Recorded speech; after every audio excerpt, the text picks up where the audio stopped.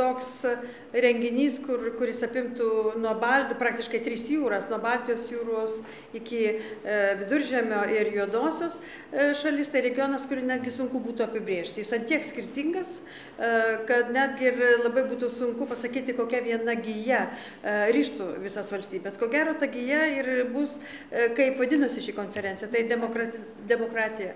Kiekviena šalis regione arba europoje ėjo sunkų kelią savaip ir netgi sakyčiau demokratijos kokybė yra skirtinga.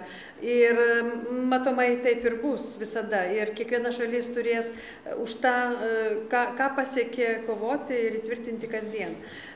Todėl patirtis mūsų visų unikali mes tikrai daug pasiekėme visi.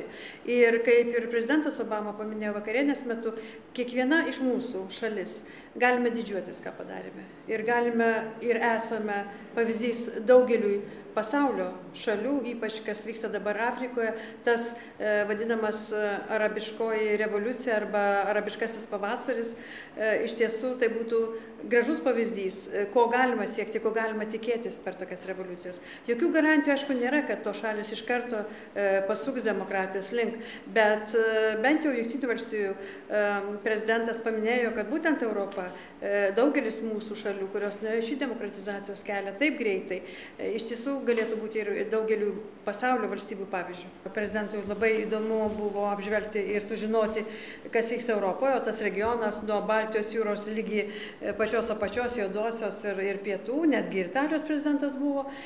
Taigi jį labai domino mūsų požiūris ir į pačią patį mūsų regioną ir į mūsų kaimynystes tai yra ir tai kas vyksta šiaurės afrikoj ir baltarusijoj ir kitose šalyse.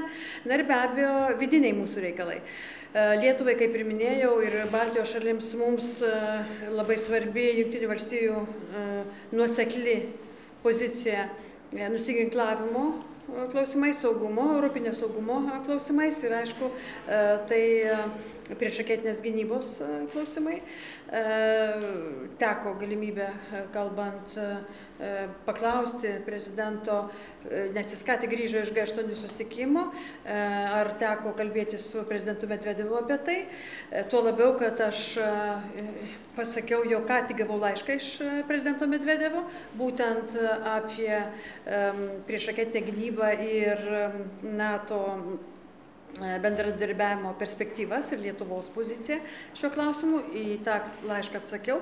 Ir be abejo buvo labai svarbu sužinoti ar tikrai išlieka nuosekli ta pati pozicija jungtinių valstijų kokia jinai buvo išsakyta lisabonoje tai yra nato buvusiame susitikime pernai kad nato dengs ir gins nato šalis ir tai nedarys niekas kitas jokių kitokių bendradarbiavimo variantų.